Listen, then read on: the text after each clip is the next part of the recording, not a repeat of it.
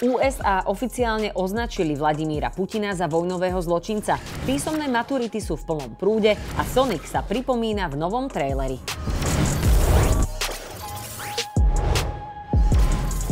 Aktuálne dianie pokrývame aj v aplikácii Refresher. Vďaka notifikáciám ti už žiadna dôležitá správa neújde. Vítaj pri dnešných Fresh News.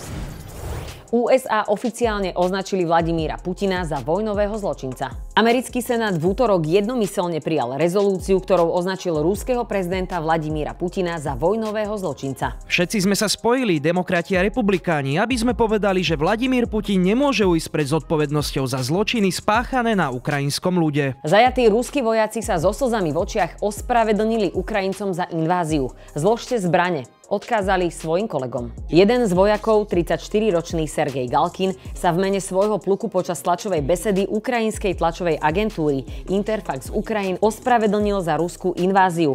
Každému domu, každej ulici, každému občanovi Ukrajiny, starším ľuďom, ženám a deťom. Ide o armádnych prieskumníkov, ktorí sa vyjadrili pred novinármi potom, čo ich ukrajinské sily zostrelili počas letu nad Ukrajinou. Veľmi sa ospravedlňujem za našu zradnú inváziu. Generálnemu veliteľstvu našich vojenských jednotiek by som rád povedal jednu vec, že sa správali z Babelo, keďže nás oklamali. Dodal tiež, že od Vladimíra Putina žiada, aby zastavil bombové útoky, prestal na Ukrajinu posielať vojakov zabíjať civilistov a vykonávať letecké útoky.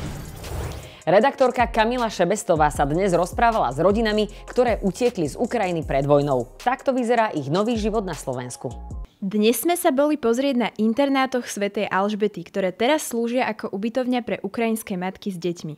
Rozprávali sme sa so Svetlanou, ktorá na Ukrajine zažila dve vojny. Spolu s jej synom sa jej pred tromi dňami podarilo ujsť z Mariupola. My 24 лютого почули, я сама з Маріуполя, почули вибухи і почали собі збиратися, тому що це вже в нас в мене друга війна. Я в 2014 році виїжджала з Горловки в Донецьк до Маріуполя. То я вже знала, що воно таке, і що може статися Svetlana sa na Slovensku snaží začať nový život. Začiatky však pre ňu neboli ľahké. Я боялася залишитися одна, тому що я не знаю страни, не знаю мови. На вокзалі е, потрапила до волонтерів. Вони теж мене поселили з дитиною. З нами не змогла знайти роботу і школи для через органі... через Фейсбук. Я потрапила на організацію Стопав. Aktuálne tu máme 20 rodín. Jedna sa najmä teda, nie najmä, ale jedna sa o matky s deťmi. Nakoľko sa jedná o malé deti, škôlkarov alebo základné školy, ak tieto deti nedáme do školok a škôlok, týchto rodičov nemôžeme zamestnať. Hlavné mesto podľa hovorkyne Dagmar Šmukovej momentálne pripravuje centrá voľného času. Magistrát však momentálne čaká na usmernenie štátu, ako situáciu čo najlepšie riešiť. Svetlana si teraz hľadá prácu vo farmaceutickom odvetví a jej syn ide od štvrtka do školy. То я дуже вдячна, що така організація є, бо дуже тяжко залишитися одна в чужій страні, тому тут якось так.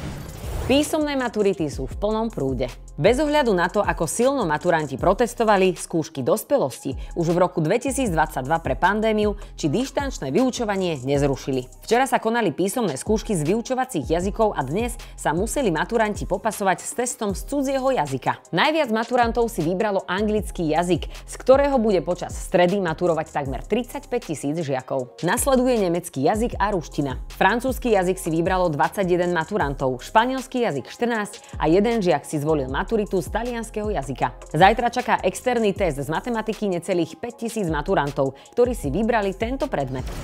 Prečo vlaky tak často meškajú a budú niekedy vlaky na Slovensku jazdiť rýchlosťou viac ako 300 km za hodinu? V novej časti našej sérii videí o zaujímavých povolaniach sme otázky položili Patrikovi Pomsárovi, rušňovodičovi v spoločnosti RegioJet. Kedy sa na Slovensku bude jazdiť 300 km rýchlosťou za hodinu?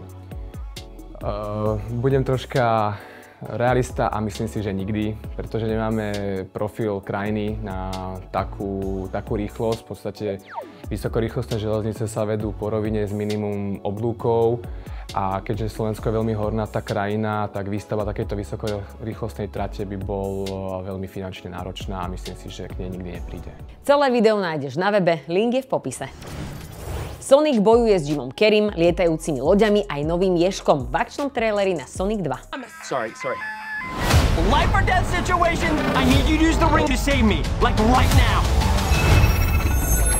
Hollywoodske štúdio Paramount Pictures láka na premiéru svojho očakávaného kinofilmu Sonic 2. Ide o pokračovanie obľúbeného rodinného akčného filmu z roku 2020. Filmy Sonic sa natáčajú podľa rovnomenných videohier, takže postavu pozná celý svet.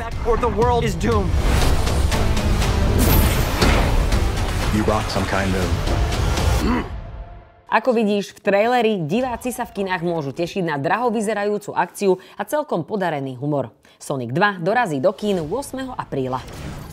Mňa z písomných maturít zaujala najviac téma čaroroviny, takže ak vieš dať nejaký umelecký opis k tejto téme, tak napíš do komentáru. Vidíme sa na budúce.